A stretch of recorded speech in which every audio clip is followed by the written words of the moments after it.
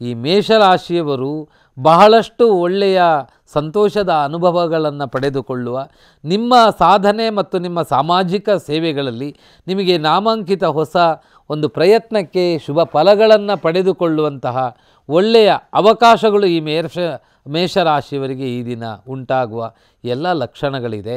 ಮಂಗಳ ಕೆಲಸ ನೆರವೇರುವಂತಹ, ವಿವಾಹದ ಬಗ್ಗೆ ತೀರ್ಮಾನವನ್ನು ತೆಗೆದುಕೊಳ್ಳುವಂತಹ, ಹೊಸ ವ್ಯಾಪಾರವನ್ನು ಪ್ರಾರಂಭ ಮಾಡುವಂತಹ, ಮೇಲಾಧಿಕಾರಿಗಳಿಂದ ಪ್ರಶಂಸೆಯನ್ನು ಪಡೆದುಕೊಳ್ಳುವಂತಹ, ಮತ್ತು ಅದಲ್ಲದೆ ಸರ್ಕಾರದ ಉದ್ಯೋಗಕ್ಕೆ ಪ್ರಯತ್ನ ಮಾಡುತ್ತಾ ಇರುವವರಿಗೆ ಉದ್ಯೋಗ ಪ್ರಾಪ್ತಿಯಾಗುವಂಥ ಅವಕಾಶಗಳು ಹಾಗೆಯೇ ರಕ್ಷಣಾ ಇಲಾಖೆಯಲ್ಲಿ ಕೆಲಸ ಮಾಡಬೇಕು ಅಂತ ಹೇಳುವ ಬಯಕೆ ಇರುವವರಿಗೆ ರಕ್ಷಣಾ ಇಲಾಖೆಯ ಕೆಲಸ ಸಿಗುವಂತಹ ಸಾಧ್ಯತೆಗಳು, ಮೇಷರಾಶಿಯವರಿಗೆ ಈ ಈ ದಿನ ನಿಮ್ಮ ಪ್ರಯತ್ನವು ಚೆನ್ನಾಗಿದ್ದರೆ ಬಹುತೇಕವಾಗಿ ಶುಭ ಫಲವನ್ನು ಪಡೆದುಕೊಳ್ಳುವ ಎಲ್ಲ ಅವಕಾಶಗಳು ಇದೆ.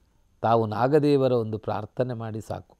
ವೃಷಭರಾಶಿ ಸತ್ಕರ್ಮಕ್ಕಾಗಿ ಧನ ವ್ಯ- ವ್ಯಯ ಅಂದರೆ ಸಹೋದರಿಯ ಮಂಗಳ ಕೆಲಸ ಅಥವಾ ಮಕ್ಕಳ ಶುಭ ಕೆಲಸ ಅಥವಾ ಧಾರ್ಮಿಕ ಕೆಲಸಕ್ಕೆ ನಿಮ್ಮನ್ನು ನೀವು ದಾನ ರೂಪದಲ್ಲಿ ಕೊಡುವಂತಹ ವಿಶೇಷ ಕೊಡುಗೆ, ಮಂಗಳ ಕೆಲಸಗಳಲ್ಲಿ ದೇವತಾ ಸತ್ಕರ್ಮದಲ್ಲಿ ಭಾಗಿಯಾಗುವಂತಹ ನಿರ್ಧಾರಗಳು.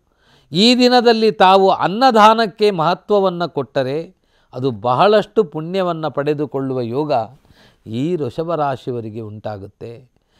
ಯಾವುದಾದರೂ ಅನಾಥರಿಗೆ ದಾನ ಮಾಡುವಂತಹ ಪ್ರಯತ್ನವನ್ನು ತಾವು ಮಾಡಿದರೂ ಸಹ ಅದು ನಿಮ್ಮ ಜನ್ಮ ಅರಿಷ್ಟ ದೋಷವನ್ನು ದೂರ ಮಾಡುವ ಸಾಧ್ಯತೆಗಳು ಉಂಟಾಗುತ್ತೆ.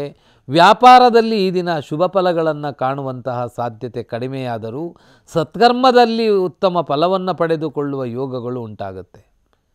ಮಿಶ್ರ ಫಲದಾಯಕವಾದ ದಿನ ವೃಷಭ ರಾಶಿಯವರಿಗೆ. ತಾವು ಈ ದಿನ ದುರ್ಗಾ ಪರಮೇಶ್ವರಿ ದೇವರ ಪ್ರಾರ್ಥನೆ, ಹಾಗೆ ಮಹಾವಿಷ್ಣುವಿನ ಆರಾಧನೆಯನ್ನು ಮಾಡುವುದರಿಂದ ಒಳ್ಳೆಯ ಫಲವನ್ನು ಪಡೆಯುವ ಸಾಧ್ಯತೆ ಉಂಟಾಗುತ್ತೆ.